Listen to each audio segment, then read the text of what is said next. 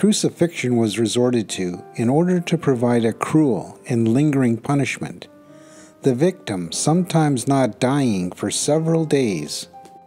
There was considerable sentiment against crucifixion in Jerusalem, and there existed a society of Jewish women who always sent a representative to crucifixions for the purpose of offering drugged wine to the victim in order to lessen his suffering. But when Jesus tasted this narcoticized wine, as thirsty as he was, he refused to drink it. The Master chose to retain his human consciousness until the very end. The Urantia Book, paper 187, section 2, paragraph 3.